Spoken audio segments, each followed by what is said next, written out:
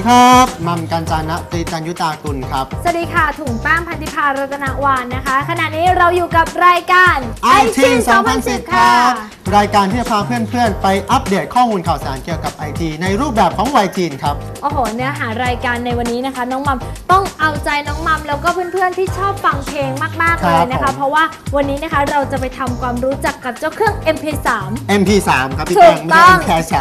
MP3 ครับ พี่รีบ MP3 ไงรีบรีบอยากรู้ว่ามันเป็นยังไง อ่าอ่าอ่างั้นก็พูดต่อเลยครับพี่ อ่าใช่แล้วนะคะสำหรับเจ้าเครื่อง MP3 นี้นะคะ มันมีรูปแบบแล้วก็ดีไซน์แตกต่างกันเลยนะคะ ครับแต่ว่าน้องมัมเนี่ยชอบฟังเพลงไหม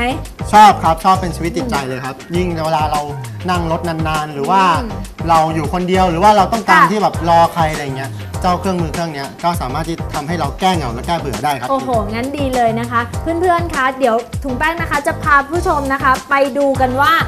เจ้าเครื่อง MP3 เนี่ยครับ มันมีรูปแบบหน้าตาเป็นยังไง แล้วก็สะดวกต่อการพกพาแค่ไหน ครับผมและในช่วงทิปแอนทริคนะครับอืมเขาจะพาเราไปดู แล้วก็ไปเลือกซื้อค่ะ หูฟังที่เหมาะกับเราให้ดูครับผมอะ งั้นเพื่อไม่ให้เป็นการเสียเวลานะคะ เราไปกันเลยดีกว่าค่ะ ไปครับ ปัจจุบันเครื่องเล่น MP3 คงไม่มีใครไม่รู้จัก ด้วยรูปแบบที่เล็กกระทัดรัด พกพาสะดวก สามารถบรรจุเพลงได้หลายร้อยเพลงทำให้เครื่องเล่น MP3 เป็นที่ถูกใจ ของผู้บริโภคที่ชอบฟังเพลงเป็นกิจวัตรประจำวัน แต่รู้ไหมครับว่า ประวัติการเกิดของเครื่องเล่น MP3 เกิดขึ้นมาได้อย่างไร เทคโนโลยี2ส่วนที่สำคัญ ที่ทำให้ตลาดของเครื่องเล่น MP3 ถูกพัฒนาจนกลายเป็นที่นิยม นั่นก็คือการพัฒนาของหน่วยความจำที่สูงขึ้น โดยสมัยยุคเริ่มแรกของเครื่องเล่น MP3 นั้น จะใช้ Flash Memory โดยมีขนาดเริ่มต้นอยู่ที่ 32 เมกะไบต์ไปจนถึง 512 เมกะไบต์โดยข้อจำกัดของหน่วยความจำที่ยังมีความจุที่น้อยนั้น เกิดจากการที่หน่วยความจำแบบ Flash Memory มีราคาที่สูงนั่นเอง ส่วนที่ 2 ที่ถือว่าเป็นเทคโนโลยีที่สำคัญที่สุด นั่นก็คือ การพัฒนารูปแบบการเข้ารหัสของไฟล์เพลง ที่ทำให้เพลงหนึ่งเพลง กินพื้นที่ในการจัดเก็บข้อมูลน้อยลง ซึ่งในที่นี้นั่นก็คือ ไฟล์นามสกุล MP3 นั่นเอง โดยมีชื่อทางเทคนิคคือ MPEG 1 Audio Layer 3 โดยผู้พัฒนาคือ Motion Picture Expert Group ซึ่งเป็นองค์กรที่จัดตั้งขึ้น เพื่อพัฒนาเทคโนโลยีการเข้ารหัสไฟล์ทั้งในรูปแบบของภาพและเสียง ความสามารถของการเข้ารหัสเพลงแบบ MP3 โดยรูปแบบการบิดอัดข้อมูลแบบสูญเสียบางส่วนของเพลง โดยตัดข้อมูลบางส่วน ที่พิจารณาแล้วว่า ระบบการได้ยินของมนุษย์เกือบจะไม่สามารถรับฟังได้ จึงสามารถลดขนาดของไฟล์จากเดิม 1 เพลง ที่กินพื้นที่ถึง 60 เมกะไบต์ในรูปแบบการเข้ารหัสแบบ PCM จนเหลือขนาดเพียง 3 เมกะไบต์ต่อ 1 เพลง ในรูปแบบของการเข้ารหัสแบบ MP3 จึงทำให้การเข้ารหัสไฟล์เพลงแบบ MP3 นั้น ได้รับความนิยมอย่างรวดเร็ว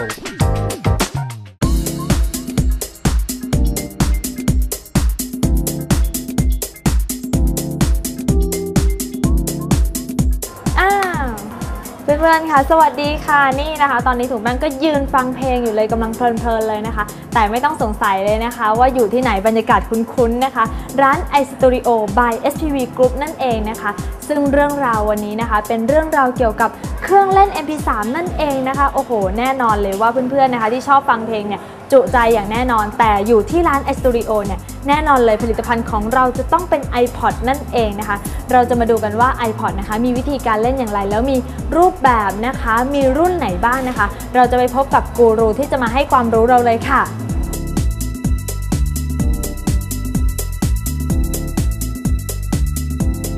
เทปที่แล้วนะคะก็ได้พูดเกี่ยวกับเรื่องราวของไอทีต่างๆ แต่วันนี้นะคะก็ห้ามพลาดเช่นเดียวกันค่ะ เพราะว่าเราจะมาทำความรู้จักกับ iPod นะคะ ซึ่งโอ้โห ตอนนี้เนี่ยเป็นที่นิยมมากต้องถามกูรูผู้รู้เลยค่ะ พี่เจตค่ะ สวัสดีค่ะสวัสดีครับ อ่าแนะนำตัวอีกรอบ ก็พี่เจษครับเจษค่ะครับ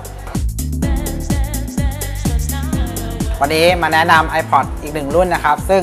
เวลาต้องบอกว่ารุ่นเนี้ยบางทีมันจะตอบโจทย์สำหรับคนที่กำลังตัดสินใจซื้อ iPhone อยู่นะครับ ซึ่ง product ตัวนี้นะครับ เรียกว่า iPod Touch นะครับ ซึ่งตัวนี้ เป็น generation ที่4นะครับ มีทั้งกล้องหน้าและกล้องหลังมาเลย และที่สำคัญอัดวิดีโอได้ด้วยตัวนี้ เมื่อกี้แอบเห็นนะคะ ลูกค้าเนี่ยสามารถแบบว่าต่อแบบว่าคุยกันเห็นเฟซไทม์อ่าคือตัวเนี้ยต้องบอกได้เลยนะครับ นอกจากที่เราเล่นกันปกติทั่วไปแล้ว ฟังก์ชัน FaceTime ก็สามารถที่เล่นระหว่าง iPod Touch กับ iPod Touch หรือ iPod Touch กับตัว iPhone ได้ด้วยครับตัวนี้ ค่ะนอกเหนือจากนี้นะคะ มันยังมีตัวแอปพลิเคชันตัวไหนที่แบบว่าโดดเด่นออกมาบ้างคะตัว iPod Touch เนี่ยการใช้งานของตัวมันเนี่ยคล้ายๆ iPhone ทุกอย่าง แต่เอ่อเราต้องเลือกแอปที่เราต้องการก่อนอย่างแรกอย่างผมเนี่ย เป็นคนที่ชอบเล่นเกมนะครับอ่าผมอาจจะเจาะจงมาที่เกมเลยค่ะอย่างตอนนี้เกมที่ได้รับความนิยมเนี่ยคือ Angry Bird ซึ่งบอกได้เลยว่ามียอดดาวน์โหลดเป็นล้านแล้วครับตอนนี้อ่าหรือว่าบางคนบอกว่าชอบในการทำอาหาร ก็สามารถที่จะดูวิธีการทำปรุงอาหารต่างๆ ได้ ค่อนข้างจะหลากหลาย หรือแม้แต่เรื่องของ scoreboard เนี่ยอ่าผมก็สามารถที่ดูได้ไม่จำเป็นจะต้องไปนั่งดูฟุตบอลทั้งคืน ก็ตื่นเช้าขึ้นมาก็เช็คกับตรงนี้ได้เลยค่อนข้างจะสะดวก ก็คือเหมือนในนี้นะคะ เทียบได้ว่าเหมือนกับ iPhone เลยใช่ครับ อืม ขอว่าทุกจุดเรามี Wi-Fi แค่นั้น เราสามารถที่จะเล่นกับตัวแอปพลิเคชันได้ทุกตัว ค่ะเพื่อนๆ ก็ได้รู้จักกับ iPod Touch กันโดยคร่าวๆ แล้วนะคะ ว่ามีความพิเศษขนาดไหน และช่วงหน้านะคะสำคัญมาก ๆ เลยสำหรับคนที่ชอบ Activity นะคะหรือว่าออกกำลังกายนะคะ เวลาไปจ็อกกิ้งหรือว่าไปทำอะไรก็แล้วแต่อยากจะฟังเพลงไปด้วยนะคะ มันมีตัวที่เล็กมากๆ แล้วก็พกพาได้สะดวกมาก ช่วงหน้าเรามาดูกันซิว่า iPod ตัวนั้นจะเป็นแบบไหนค่ะ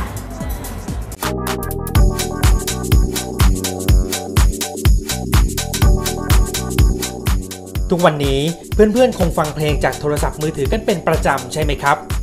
และอุปกรณ์ที่สำคัญที่สุดในการฟังเพลงให้ไพเราะ นั่นก็คือหูฟังหรือที่เรียกว่าเฮดโฟนนั่นเอง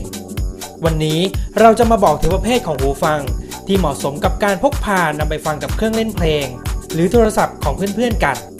ชนิดที่ 1 แบบคลิปเอียร์คือประเภทที่มีส่วนการล็อกเข้ากับที่ก้านหูของเรา เวลาใส่แล้วรู้สึกสบาย เบา ไม่เกะกะ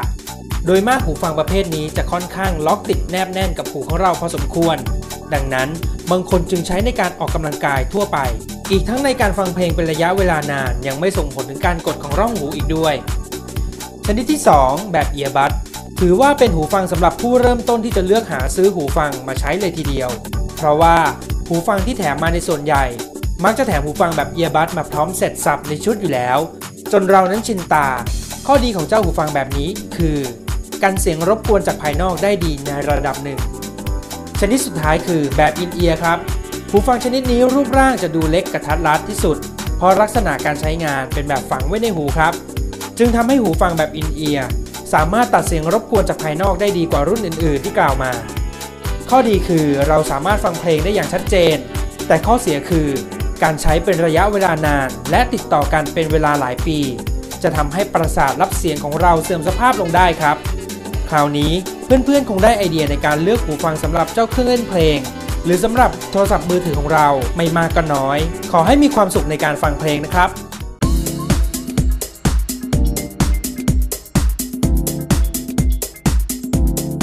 ะอย่างที่บอกไว้ในช่วงแรกนะคะ ว่าเราจะมาทำความรู้จักกับเจ้า iPod ที่มีขนาดเล็กมาก ๆ เลยนะคะ พี่เจษคะอยากทราบชื่อเต็ม ๆ ของมันเลย เห็นดีไซน์เล็กๆนี้ต้องบอกเลยว่า คนนึกว่าจะเป็น Shuffle แต่จริงๆ แล้วตัวนี้คือ iPod Nano ตัว Gen 5 ที่ออกมาล่าสุดเลยครับ มันมีคุณสมบัติยังไงบ้าง อ่า อย่างแรกต้องบอกเลยว่าตัวนี้จะเป็นแบบระบบทัชสกรีนแล้ว หลักๆ ของตัวนี้ก็คือการฟังเพลงนะครับ เราสามารถที่จะเลือกเป็นซองเลือกเป็นอัลบั้มได้ค่ะเหมือนเดิม หรือว่าบางคนอาจดูเรื่องของรูปภาพด้วย แต่จริง ๆ แล้วมันจะมีเสริมเรื่องของตัวนาโนก็คือเรื่องของเรดิโอ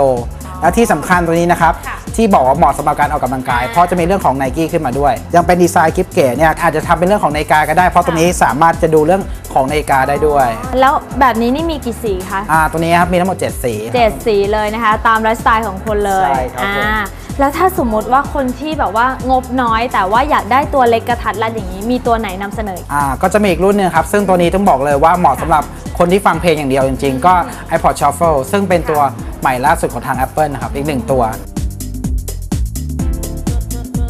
เล็กมากเลยค่ะ ต้องติดไว้อย่างนี้ด้วย ใช่ครับ คุณสมบัติมันเป็นยังไงบ้างเนี่ยตัวนี้ ค่อนข้างที่จะเล็กมากนะครับ เล็กกว่าตัวนาโนแล้วนะครับ และที่สำคัญ ใช้ฟังเพลงเป็นหลักเลยครับตัวนี้แต่ว่ามันมีความแตกต่างกับตัวเมื่อกี้ มันไม่มีหน้าจอทัชสกรีนแล้วมันจะมีการใช้งาน อ่าเห็นไหมครับตรงด้านหน้าเนี่ยครับจะมีขาวๆเนี่ยครับค่ะ เป็นตัวควบคุมทั้งหมดของตัว iPod Shuffle ครับในการใช้งาน ไม่ว่าคุณจะบวกลบนะครับเพิ่มเรื่องของวอลลุ่มนะครับ neck หรือว่า back ค่ะฟังเพลงหรือว่าจะหยุดหรือเพลย์ตรงนี้ ค่ะ ก็สามารถที่จะควบคุมจากตรงนี้ได้เลยครับ ค่ะพี่เจตคะ ก็ได้รู้นะคะเกี่ยวกับ iPod แต่ว่าอยากจะทราบว่ามีตัวอื่นๆอีกไหมคะ อ่าจริงๆครับก็ iPod ที่ตอนนี้ที่ Apple ออกมาหลักๆ ก็จะมีทั้งหมด 4 รุ่นนะครับ ก็รุ่นเล็กสุดก็เป็น Shuffle นะครับตัวถัดมาก็เป็น Nano และตัวสุดท้ายต้องบอกได้เลยว่า อาจจะเหมาะสมกับนิสิตนักศึกษาทุกท่าน เพราะเนื่องด้วยแอปพลิเคชันต่างๆ ในการใช้งานของตัวเครื่องเนี่ยหลากหลาย ฉะนั้นตัวนี้ก็ขึ้นอยู่กับการใช้งานของแต่ละท่าน หรือว่าเลือกให้เหมาะสมแต่ละรุ่นแล้วกันครับตรงนี้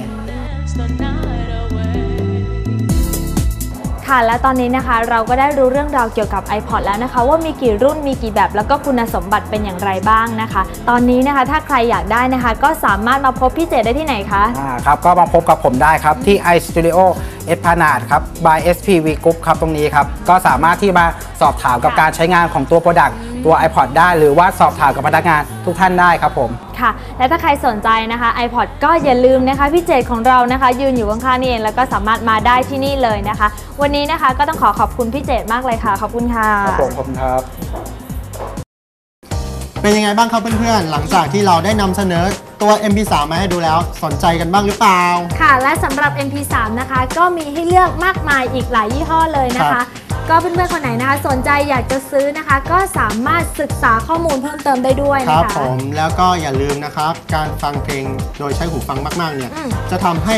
ประสาทการรับเสียงของหูเนี่ยเสียได้ อืม โดยเฉพาะการที่เราฟังเพลงนานๆ หรือว่าฟังเสียงเพลงเสียงดังครับใช่แล้วค่ะ และสำหรับการใช้หูฟังนะคะ ก็ควรฟังให้ถูกกาลเทศะด้วยนะคะ ครับผมไม่สมควรไปฟังในที่ห้องเรียนครับนะเดี๋ยวจะคะโดนครูตีการครับ ถูกต้องค่ะ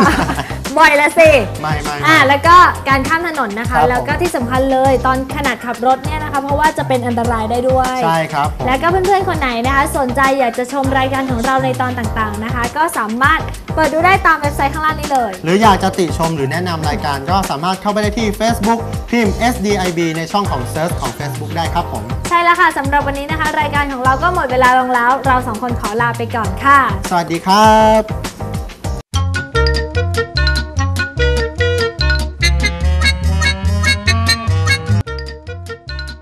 ก็ใหญ่ อันนั้นก็ใหญ่ โอ้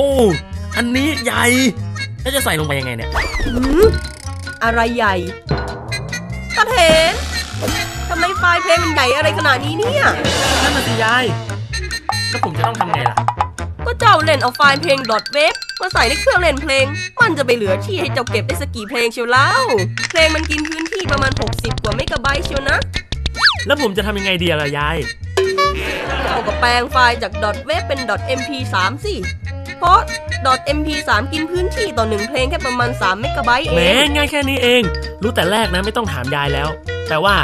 มันทำยังไงล่ะยายปัดโถทำท่าเหมันรู้ มา เดี๋ยวยายจัดให้ ก่อนอื่นเจ้าต้องไปดาวน์โหลดโปรแกรมแปลงไฟล์ที่ www.any-audio-converter.com เมื่อได้โปรแกรมมาแล้วก็ติดตั้งให้เรียบร้อย เปิดโปรแกรมขึ้นมาให้เจ้าคลิกที่เมนู